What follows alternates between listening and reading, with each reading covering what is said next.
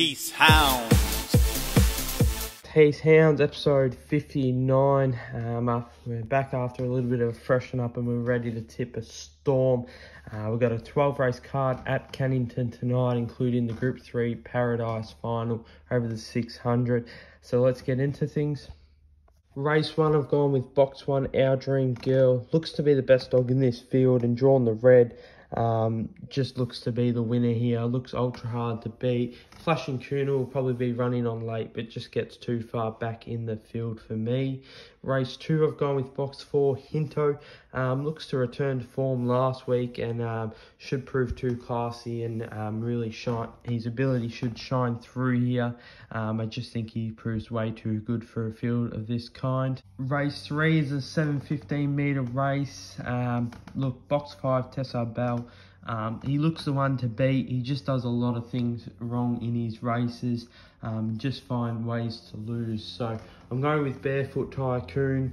Um, he's probably the next best dog in the field, and um, he's drawn well here. He should have the class edge in this distance. Um, and if Tezza Bell is up to his normal tricks, well, um, he should get a little bit of luck and win this race.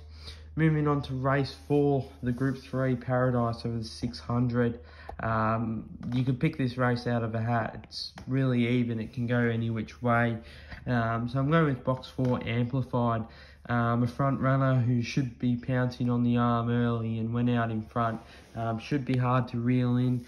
Um, look, I think there'll be a bit of trouble back in the pack. So breaking clear will be the key. Um, she runs it out decently and will be better for the run from last week. Um, I think she just jumps and leads and wins this race. So race four, box four, amplified in the final. Race five, I'm going with box one, unsee this. He's drawn the red here.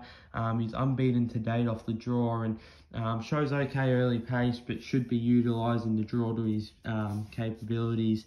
Um, should be running well here. He was good last start at Mandurah to run 27.20s.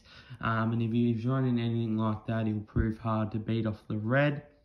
Moving on to race six, we're going with box six. Um, we should get the card across with the four, um, who shows good early pace. The six also has good early pace, so hopefully we can sit behind it um, and run it down. Christine Robertson trains the dog as well, and she's absolutely flying at the moment. Her whole entire kennel is just flying. Anytime you see her in a race, just it's always worth a little bit of a dabble. So I've gone with race six, box six, um, and Christine Robertson looks to be in for another good night. Race seven, I've gone with Granite Song. Look, he's drawn box five. Archibald should card him into the race. Uh, box six is vacant, so he's going to get all the clear running. If he can just sit on the heels of Archibald, he should prove too strong late and be running Archibald down.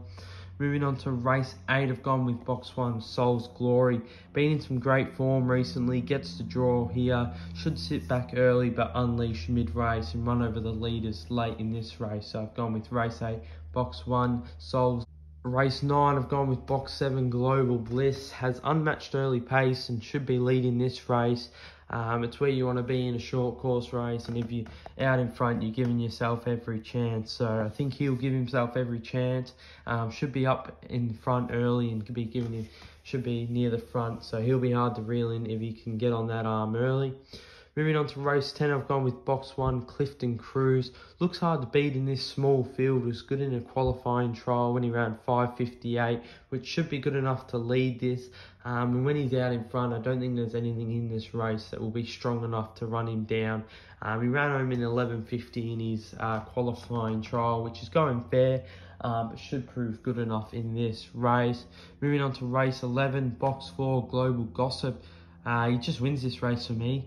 He's the new kid on the block. He ran 2160s at Shepparton, moved to WA and hasn't put a foot wrong. Um, but this is definitely his biggest task to date.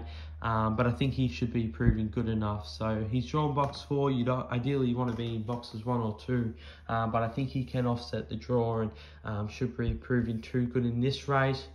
Moving on to race 12, box 1, Rapido Scrud. Uh, was very good last start from box 7, draws a red here, and if he's running anything to his last start, Um, he should be proving really, really hard to beat. Um, he was one of my best bets of the night. That's it, episode 59, the Group 3 Paradise over the 600 metres at Cannington tonight. Uh, best of luck on the punt.